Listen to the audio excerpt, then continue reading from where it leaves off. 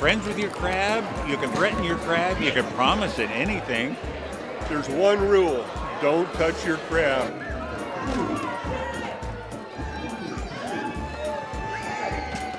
We're here at the Old Mill Marina. We are having the crab races. This is our actual 35th race. I belong to the Garibaldi Lions Club, and there are actually four or five active members right now, so for us to pull this off, it's huge.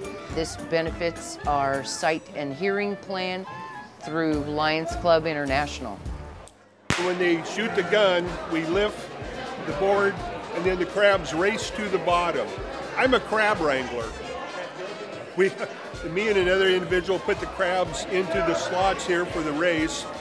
When the thing goes up, you want to pound in front of the crab and kind of get him started. You get that crab started moving with the vibration, and once he starts running, you just keep him going. Actually, we try to race the crabs one time, and then we have fresh crab. There's coolers and coolers and coolers of crabs coming in today.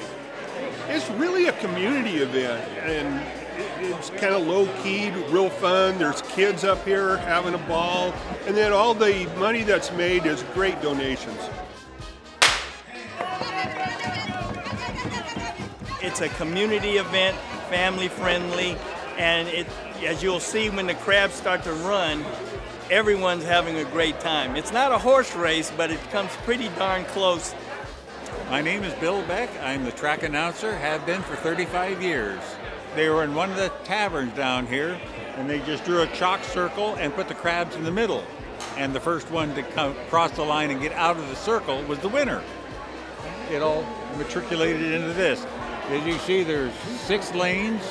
So once the gate goes up, if you touch your crab, it's disqualified. Besides, the crab might reach around and touch you back. Everybody has their own strategy and some of them a bit wacky. But then you got to be wacky to be here to start with.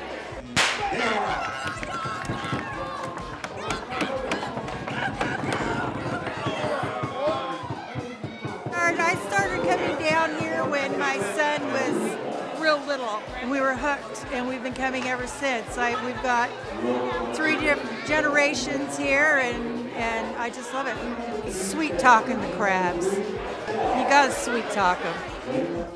It's cheap entertainment. For five bucks, you can watch people race crabs. And the food is fabulous. Today's losers, tomorrow's lunch.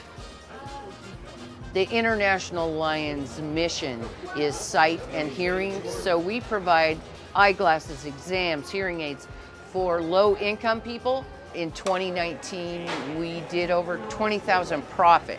For us, that is huge. We just love to show people our town and what we do, and we like to honor the hardworking crabbers and fishermen and fish processors who work so hard. So it's kind of a celebration for them as well as giving back to the community.